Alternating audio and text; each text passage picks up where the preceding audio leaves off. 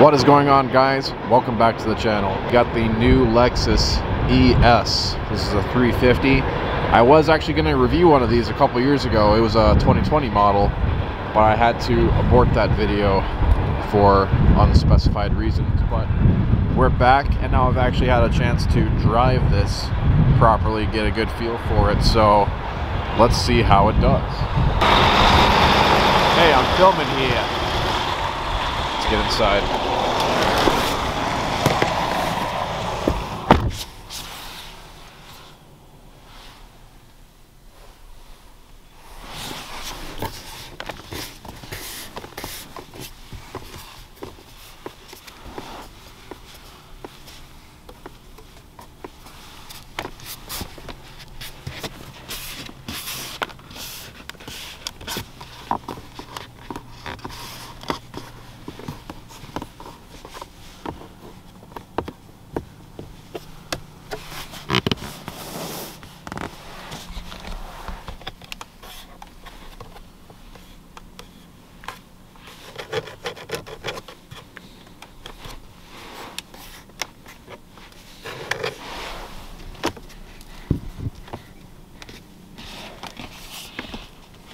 Pretty good in the back seat so far. My only gripe is the plastic surrounding the climate vents are pretty cheap feeling, but it's not the end of the world. Let's see how the front seat does. Good looking car. Yeah, I do like the way this thing looks on the outside. And on the inside too. Good styling all around actually. Let's get to it.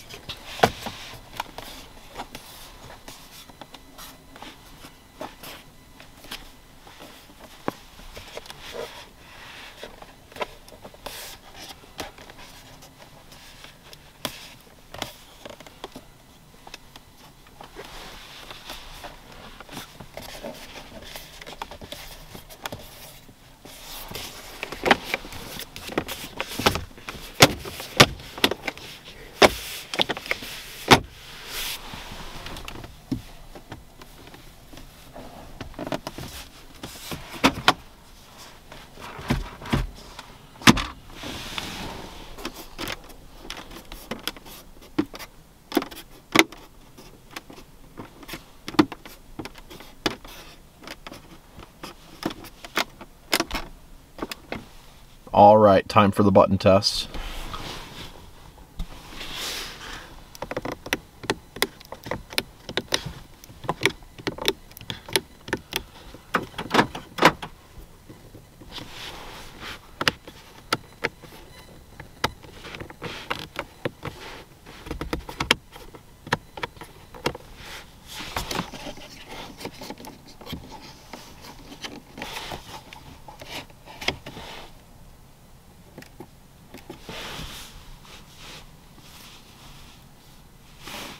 Touch those.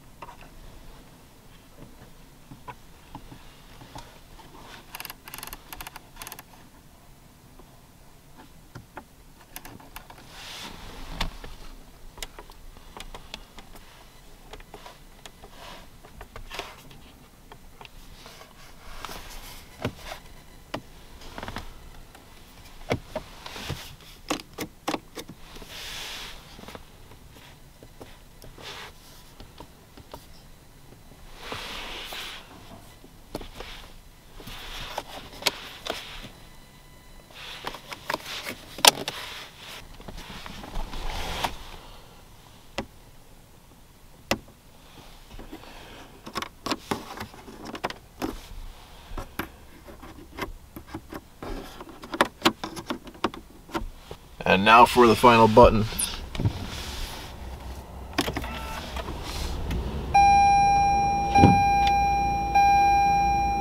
Here's your odometer, in case you're curious, just under 8,000 miles. All right, how did it do? Guys, to my surprise, this does exceptionally well. I've done Lexus before. Some were good, some were not as good, but this one was incredibly good virtually squeakless throughout most of the interior. The back seat the doors the dash the center console and the screen. All pretty good. I did not like the uh, overhead console. That could have been a little bit more solid than it was. I'm not gonna lie there. But everywhere else was pretty uh, was was pretty good. So virtually squeakless.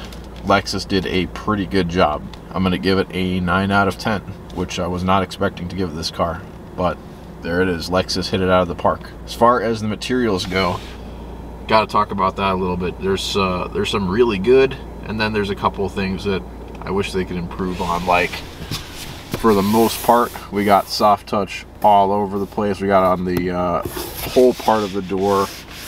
Most of the soft touch they do use feels pretty good to the touch and has nice texture. Like, see, I like this little wavy design here. It's also on the uh, other side, and it's on the center console armrest.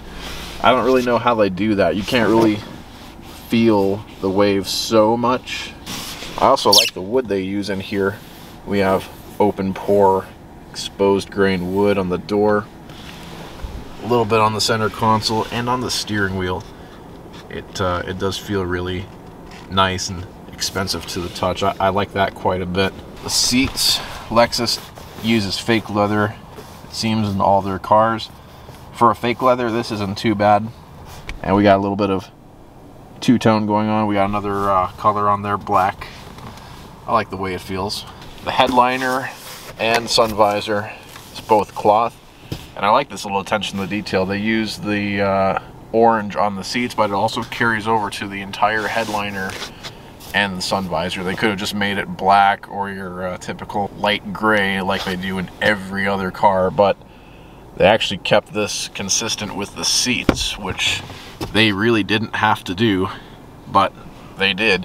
And even some of the plastic around the overhead console and even on the sun visor itself, the, even the plastic is this uh, sort of like saddle color, orange, whatever you want to call it. They didn't have to do that. They could have cheaped out and nobody would have cared. But people like me care and notice that kind of stuff. So I'm happy they did that. They didn't have to do that. As far as the buttons go in here, this is just typical Toyota, Lexus. I guess they don't have to be expensive. They actually look all right first glance, but when you touch them, they're uh, they're a little bit cheap. A little bit left to be desired. Like I'm gonna do this. I wish they could have just made this a knob, and then look at this animation right here. It's not even uh, colored, and it looks like something out of a 90s radio, for example.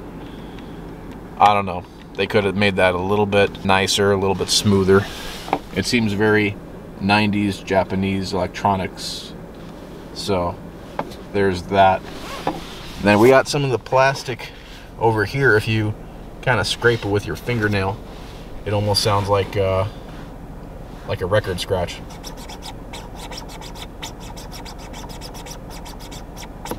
Don't know if you can hear that on camera. Sounds like I'm doing a Sir Mix-a-Lot remix.